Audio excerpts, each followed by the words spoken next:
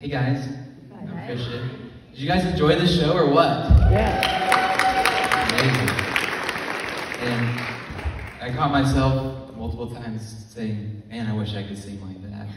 Man, I wish I could sing like that. But that was awesome. Thank you guys for being here. Like Rachel said, I'm Christian Stitt. My wife is somewhere. Her name is Sam.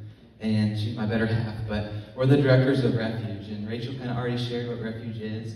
It's an after school program for 6th through 12 graders here in Collinsville. And our vision, the vision that God gave me, the vision that God gave my wife, and combined it all together, which is beautiful, was to give the youth of this community a place to go, to feel safe, to feel loved, uh, to be encouraged, and to be motivated to be good citizens in the community, to make a difference, and then ultimately, the most important thing um, is to love Jesus and to know Jesus. And so we get the awesome opportunity to spend Tuesday through Thursday speaking to these kids' lives, building relationships. And I'd like to say I haven't, you know, I've got to just teach them, but they've taught me a lot too about what it means to have faith and what it means to walk in faith. And so we get the awesome opportunity just to walk alongside them and to encourage them. And we couldn't do it without the volunteers that we have. Um, Rachel is one of them, by the way. Can you guys give Rachel a round of applause for doing this?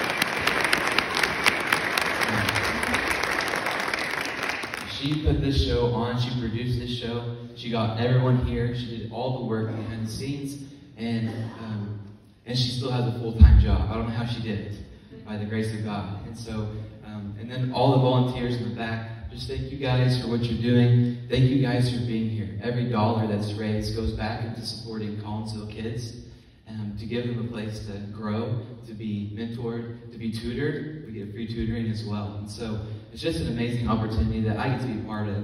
Um, it's God doing all the work, but I get to be part of it. And so does my wife, and so does Rachel, and Doug, and Melissa, and Lori, and Michelle, and all the volunteers that work there. Um, so I just thank God for what He's doing, and I thank you guys for giving back to your community. Um, so I want to give you a round of applause for being here. So give yourself a round of applause. Thank you guys. And so, um, before the night ends, Christmas is just what we heard is all about Jesus. Um, it's all about Him. Um, and Rachel shared this earlier that some of us may struggle at Christmas time. Some of us may have things that we're going through or memories that pop into our head, and it's, and it's hard. Some of us, it's a joyful time. We have our family together. But either way, God is still on the throne.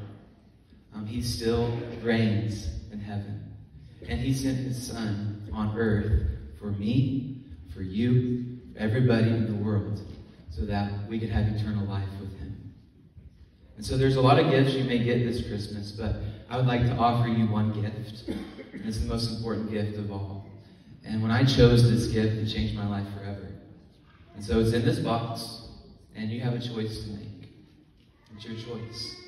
God's given you the choice to follow him and to have eternal life, to have peace. And all you have to do, you don't have to work for it. You don't have to strive for it. All you have to do is accept it. He gives it to you freely. And so here's the gift. I'm going to open it up. And the gift is love, joy, peace, and eternal life. And my hope and my prayer is that you guys this Christmas, if you haven't already, or if you're struggling, would accept this gift that God offers. And find a church. A church is not a religious place. It's a place where community can happen. People come around you and love you and support you and walk alongside life with you through the struggles and the hard times. That's what the church is for. That's what the church is supposed to be. And God wants you to be in that kind of place. And so that's why he sent his son. So I, I just ask that you would think about that, that you would um, ponder that thought, that God has given you the greatest gift, and it's your choice to make it. Merry Christmas.